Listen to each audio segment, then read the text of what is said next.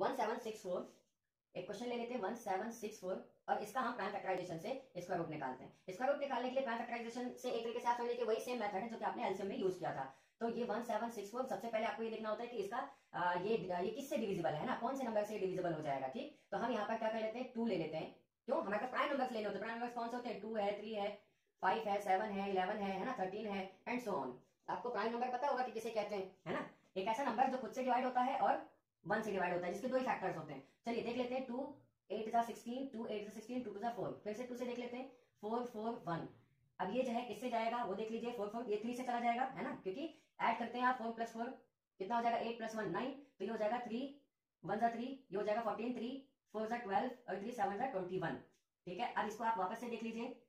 Three से चला जाएगा थ्री फोर जा ट्वेल्व बचा टू थ्री नाइन जा ट्वेंटी सेवन फिर ये सेवन से चला जाएगा, आप सेवन से लेके जाएँगे।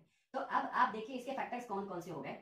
वन सेवन सिक्स फोर के फैक्टर्स हो गए two two three three seven seven ठीक है? अब इसके जो पेयर्स बन गए ना, आप पेयर के लिए एक ही नंबर वहाँ पर नोट करिए और फिर इन्हें मल्टीप्लाई कर दीजिए, ठीक है? तो हो जाएगा थ्री टू सिक्स यानी कि सिक्स इंटू सेवन यानी कि फोर्टी टू यानी कि आपका इसका जो स्क्वायर रूट आपने निकाला, वो क्या निकल करके आया? वो 42 निकल करके आया, ठीक है? इस तरीके से हम प्राइम फैक्टराइजेशन से क्या करते हैं? स्क्वायर रूट निकालते हैं, ठीक है?